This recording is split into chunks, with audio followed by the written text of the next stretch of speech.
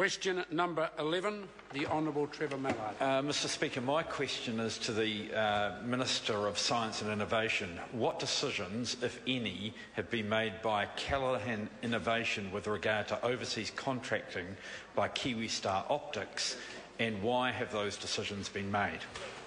Honourable Steven Joyce. Uh, Mr Speaker, I'm advised that Callaghan Innovation has decided not to enter into a proposed subcontract with the Australian Astronomical Observatory for two reasons. Uh, firstly, because the contract involved was for a fixed fee and is considered high risk.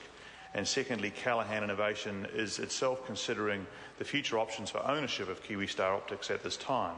It's not on their long term plan to own uh, New Zealand businesses. And I note that IRL itself also quit a number of companies. Callaghan's plan is to work with all Kiwi firms and help accelerate the commercialisation of innovation of those firms. Supplementary question. Supplementary question, the Honourable Trevor Mallard. Does he agree with that decision of Callaghan Innovation to veto a contract worth $2.4 million to produce high-tech lenses for the Australian Astronomical Observatory with the resulting loss of two $1.8 million contracts with Caltech and Berkeley? Honourable Steven Joyce. I think, Mr Speaker, the member is uh, well ahead of himself there. Firstly, two things. One, I don't think it's right for politicians to be offering opinions on what any organisation, Crown entity or company does in terms of contracts. In terms of whether they should enter into a contract, they have to be in the position to judge the risk as to whether they should proceed. That's why those entities exist.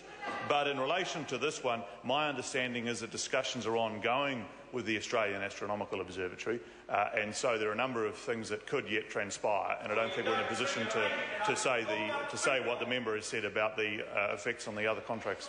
Supplementary question. Supplementary question, Honourable Trevor Mallard. Does he regard the manufacturing of multi-million dollar telescope lenses is a type of work that should be abandoned to be done in Australia with the staff transferring, the scientific knowledge transferring and the context transferring as is now being proposed. Honourable well, Steven Joyce. Mr Speaker, again I think uh, Mr Mallard's putting a particular perspective on it. The reality is uh, that Callaghan Innovation is looking at any number of possibilities for the future of KiwiStar Optics. It is actually at this point. And in terms, no, they are in the country. And in terms of what you talk about in terms of lucrative high value work, in this particular instance, it's a very high risk fixed price contract which may not be in the best interest, and indeed that's what Callaghan Innovation has determined is in the best interest for them to enter into. Supplementary question. Supplementary question, Dr Megan Woods. Thank you. Does the Minister consider Callaghan Innovation's decision to not sign the $2.4 million contract between the AAO and KiwiStar Optics to be consistent with his view that Callaghan Innovation is to become the high-tech HQ for New Zealand businesses? It will assist firms across New Zealand to turn their ideas into exportable products and services more quickly, providing jobs and growth for New Zealanders. Honourable Steven Joyce. Well, Mr Speaker, I thank the member for that advertisement. Um, I do consider that it is consistent with Callaghan Innovations uh, mandate, which is to be a high-tech HQ for Kiwi businesses. That doesn't mean it should own all those businesses.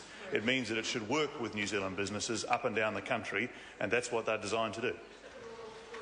Question. Supplementary question, Dr Megan Woods.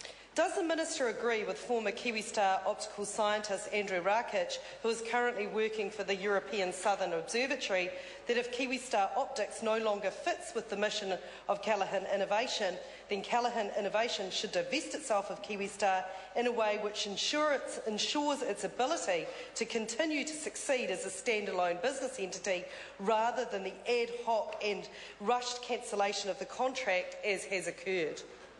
Honourable Steven Joyce. Well, Mr Speaker, the member raises some fair questions in that regard. I'll make three points in response. I understand the gentleman concerned actually does have a relationship with this organisation uh, still, so that may, well, and also, and also some sort of some sort of financial uh, relationship with the organisation, so that may have an impact on his views.